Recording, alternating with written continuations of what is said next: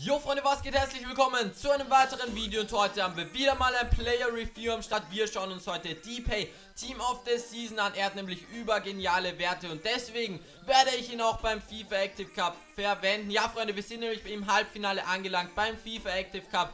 Das ist auf jeden Fall richtig, richtig nice und da werde ich ihn auf jeden Fall verwenden. Er hat 98 Tempo, 88 Shooting, 84 Passing, 92 Dribbling und 84 Physis. 5 Sterne Skills natürlich auch am Start. Kostet über 700.000 Münzen. Aber der ist seine Coins auf jeden Fall richtig, richtig wert. Und falls ihr auch noch Coins braucht, schaut gerne bei meinem Sponsor MMOGA in der Videobeschreibung vorbei.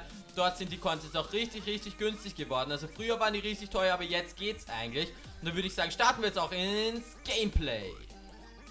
So, die erste Situation mit Memphis ist dann gleich mal ein Freistoß und den tritt er wirklich nicht schlecht, aber der Keeper ist zur Stelle. Und ich würde sagen, ich zähle euch jetzt die Vor- und die Nachteile auf. Nachteile gab es eigentlich nicht allzu viele, außer vielleicht seine zwei Sterne Weakfoot.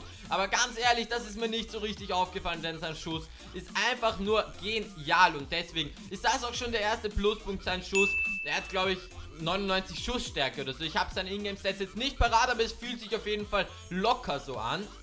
Und dann, sein zweiter Pluspunkt ist natürlich die Stärke, das konntet ihr hier jetzt sehen. Er hat sich richtig gut durchgetankt und er kann das wirklich, wirklich gut, dass er den Ball nicht verliert. Er bleibt am Ball, obwohl die Gegenspieler ihn richtig, richtig abdrängen. Also da kann schon mal ein Boateng, ein Sergio Ramos, ein Thiago Silva daherkommen der hält da wirklich stand, obwohl er sau klein ist und eigentlich sehr, sehr wendig. Also er ist kein Brocken, aber er hat einfach eine gute Stärke und einfach ein gutes Physical-Spiel. Und deswegen würde ich sagen, ist das auch ein richtiger Pluspunkt. Und der nächste Pluspunkt ist eben seine Ballkontrolle. Das kann man hier auch so verbinden, denn wenn er schwer vom Ball zu trennen ist, kann er natürlich den Ball auch besser kontrollieren. Und das sieht man eben in vielen Situationen. Man denkt, der Ball ist jetzt verloren, aber er bleibt einfach am Ball und kann ihn super sichern. Und dann haben wir noch einen weiteren Pluspunkt und das ist sein Freistoß. Hier könnt ihr sehen, 99, 93, 91 und 84. Was sind das für kranke Werte?